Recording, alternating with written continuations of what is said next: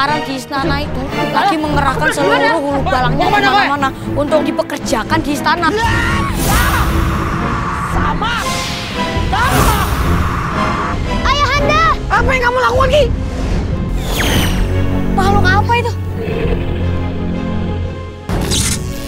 Jadi burung. Siapa-siapa pemuda yang bisa mencabut pedang di atas batu itu yang ada di pinggir sungai, bawa dia.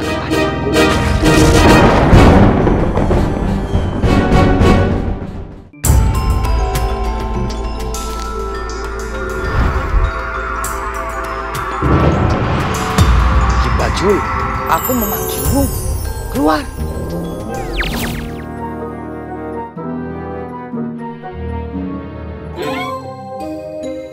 Buku apa itu, Ki? Ini catatan hutang di wartegku di dalam sungai. Di dalam sungai ada warteg. Ya ada lah. Memangnya aku sama teman-temanku nggak makan apa? Hah, Ah, kirain makhluk dalam sungai itu makannya cuma lumut deh. Kenapa jenengan ini datang ke sini ada apa toh? Aku sibuk. Cepet. Ke sini mau apa? Apa keperluannya? Iya, iya, iya, iya. Gini loh, Ki. Kan Aki tahu toh, udah beberapa tahun ini aku udah jadi raja. Hmm. Tapi kok aku nggak tenang gitu loh. Gimana kamu bisa tenang? Kamu ingat bagaimana caranya kamu menjadi raja? Ya iya sih.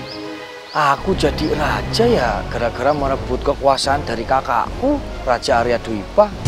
Nah, tapi itu masalahnya, Ki. Aku tuh takut kalau misalnya anak dari Arya Dwipa itu merebut kembali, menggulingkan pemerintahanku. Panjenengan tahu apa yang saya punya dalam sungai? Apa tuh, Ki?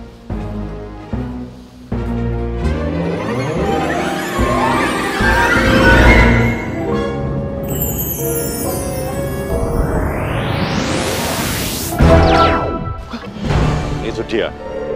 Panjenengan tahu pedang apa yang ada di atas batu itu? Itu kan pedang milik kakakku, Arya Dwipa. Benar. Itu adalah pedang Sukalibur, pemberian penyihir agung Malin yang sudah mati.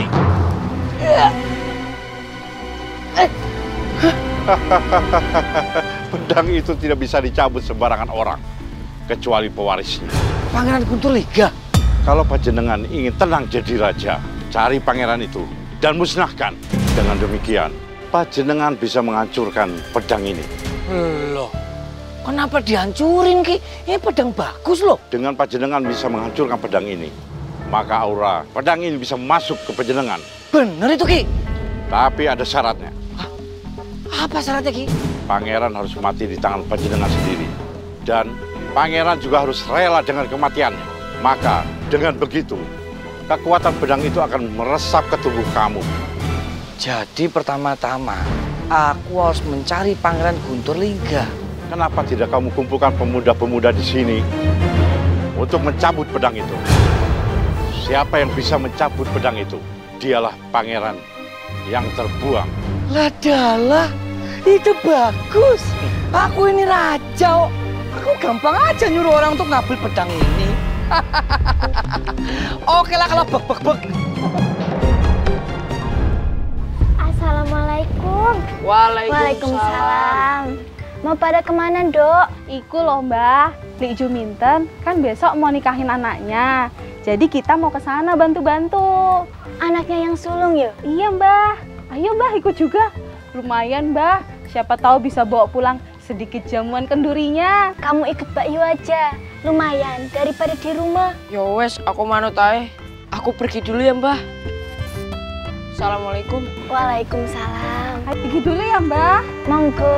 Assalamualaikum. Waalaikumsalam. Ibu Gayatri ada? Ada di dalam. Ada keperluan apa, Thomas? Mau ketemu Eh, silakan daftar dulu. dokter. Terus saja di situ. Nama tanggal lahir, bintang dan makanan favoritnya. Wah, ada tadi Ili. Kayak dokter bimbel. Dah, Jadi biayanya satu ribu. bayar juga. Rewel banget sih. Kalau nggak mau bayar ya udah. Kan usir-usir aja mau kucing berantem. Nih. Udah boleh masuk? Oh, Silakan.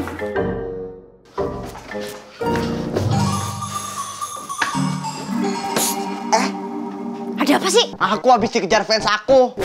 Fans mbahmu. Fans aku bukan mbakku. Heh, kamu tuh kalau datang ke sini ya bikin semedi aku tuh rusak. Oh, jadi karena kegantengan aku ini semedi kamu jadi rusak. Terus urusannya sama aku apa, Bambang? Bagas, main ganti-ganti aja nama orang. Dari Raja Arga itu naik tata sampai kamu yang jadi buronan, kamu tuh selalu minta aku peka, tapi diri kamu sendiri tuh nggak peka ya. Kalau aku diburu sama raja karena aku ndak sudi ngakuin dia sebagai raja, kamu juga nggak bakalan kerepotan. Ya siapa suruh nggak sudi? Aku ini adalah Raden Bagaskoro, bangsawan kebanggaannya Raja Arya Dwipa. Sebagai abdi setianya ini, aku nggak bakal sudi kalau tahta Raja Arya Dwipa itu direbut secara kotor sama Raja Arga. Ya aku tahu raja itu memusnahkan keturunan dan para murid dari penyihir Malin. Nah itu dia, dan cuma kamu doang yang berhasil lolos. Dan sekarang kamu jadi buronan sama kayak aku. Ya kalau sampai mereka tahu kamu yang aku cari. Aku ini selalu salah di mata kamu. Salah. Iya, salah salah. sama buah. Itu maksudnya selalu salah di mata kamu. Gak usah pakai drama-drama kayak Korea-Koreaan gitu ya. Udah sana aku mau bisa medi lagi. Oh, dulu. Aku kan lagi dikejar-kejar sama Ulu Balang. Aku boleh dong numpang ngumpet di sini, ya dong. Boleh dong. Makasih. Wah, belum jawab aku. Ya, boleh lah. Boleh kan? Alhamdulillah. Bisa lah buat jadi yang bersih-bersihin rumah. Oh, bantu dong. Yang mulia, peletakan batu pertama telah dilakukan pekan kemarin yang mulia. Hari ini akan dilanjutkan pemasangan fondasi yang mulia. Hah? Baru pondasi? Ini udah hari keberapa loh? Eh, eh, jangan korupsi waktu kalian. Ampun yang mulia, bahan-bahan bangunan kita memang lengkap ya. Kualitasnya pun kualitas nomor satu. Tapi kerja kita kurang yang mulia. Kok bisa kurang? Rakyat kita itu kan banyak. Dimanfaatin tuh. Bukan begitu, Permaisuri? Iya benar, tapi dimanfaatkan buat apa dulu? Kalau untuk menyengsarakan rakyat, ya ndak boleh dong. Di dunia ini semua orang sengsara, Dinda. Memangnya menara yang akan Gusti Mulia buat itu untuk apa? Menara itu adalah menara pengawas sihir. Jadi, siapa-siapa yang mencoba untuk membangkang atau berkhianat kepada kerajaan akan menemui ajalnya. Wow, Magic, serem banget. Ayahanda ini sebenarnya raja atau malaikat maut sih? Kamu ndak ngerti, Putri. Hah? Seorang raja bisa menjadi malaikat maut buat rakyatnya. Tapi ayah jangan sampai jadi malaikat Israel buat aku ya. Oh, dan, dan, dan, dan, dan, dan. Kamu kan putri dari Arga Dwipa. Yonda. Ampun Gusti, hamba akan menggerakkan pasukan hamba untuk mencari pekerjaan yang lebih banyak Gusti. Bagus.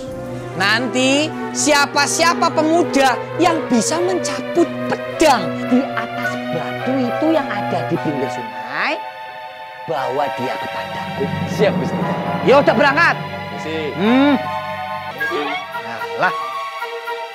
Alhamdulillah, akhirnya punya uang juga. Untung Mbak Yu ngajakin kamu kerja. Kalau enggak, kamu enggak dapat duit. Ya itu mau dari rezekinya Guntur kali mbak. Iya toh. Iya sih, rezekinya Guntur.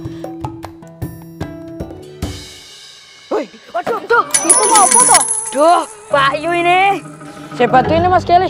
Kok duitmu banyak banget, Kel? Ya iyalah, ini kan duit hasil aku nguli selama seminggu. Nguli apa Mas? Ya, nguli apa aja lah. Termasuk nguli di hajatan kayak tadi. Waduh, Bala, aku pulang duluan ya. Woi, mau ke mana kowe? Kalian, kejar orang itu. Kok Kelly dikejar-kejar? Ikut kami. Ikut ke mana Mas? Eh, kalian mau bawa dia ke mana? Gak usah ikut campur kamu bocah wedok. Eh, kamu beraninya sama anak kecil? Wes, wes, wes. Jangan diladenin. Ngabisin waktu. Ayo, nanti kita kena super party. Ayo. Lepasin. Guntur. Bayu. Guntur. Bayu. Emang malam-malam kayak gini kita bakalan dapat hewan buruan. Justru kalau malam itu lebih gampang. Kenapa? Karena hewannya pada tidur. Itu masalahnya. Kita kan udah tahu hewannya tidur di mana. Hewan itu kan tidur macam-macam tempatnya. Ada yang di dalam goa, ada yang di bawah tanah, ada juga yang di atas pohon. Itu.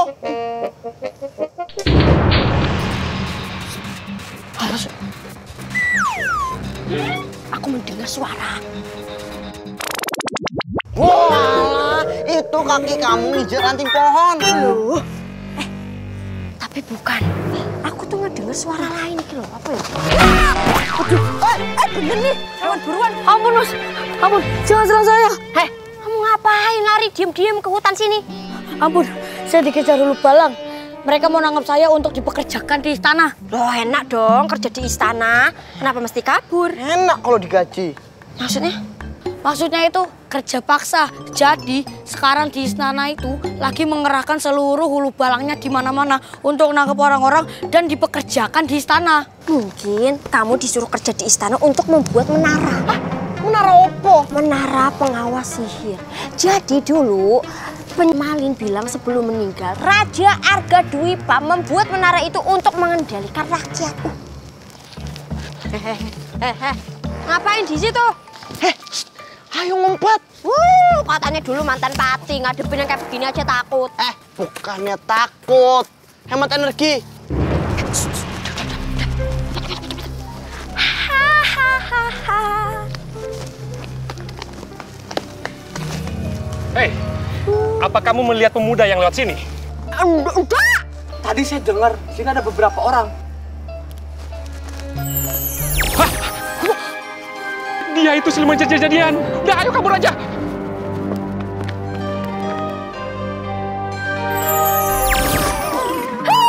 Hemat energi, hemat energi. Palakmu lembek. Dia yang hemat, aku yang repot. Mudah-mudahan Guntur selamat yo. Guntur itu wis tak anggap anakku sendiri. Ibunya sekarang waktu nitipi Guntur ke Mbah. Emang ibunya Guntur sakit apa? Tidak sakit, tapi di badannya banyak panah. Siapa yang mana ibunya Guntur, Mbah? Mereka jahat banget. Mereka huru balang.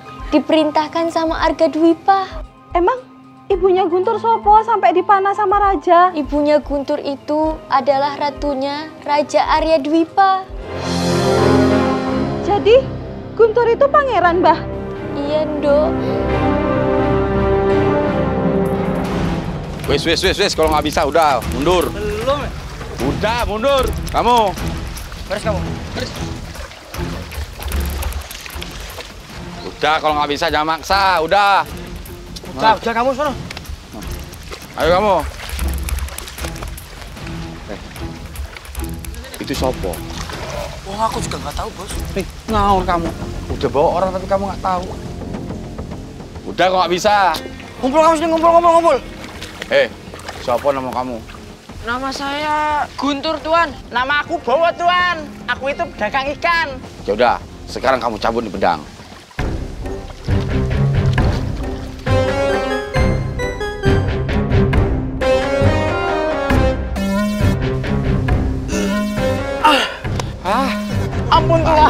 Saya mau pulang. nanti kamu baris dulu di sono. Kayak kamu. Saya juga nyobain, Tuan. Ya iya. Kalau kamu bisa, urusan kita selesai. Tapi kalau kamu nggak bisa, kamu ikut sama orang itu ke barat ya. Baik, Tuan. Ayo buruan.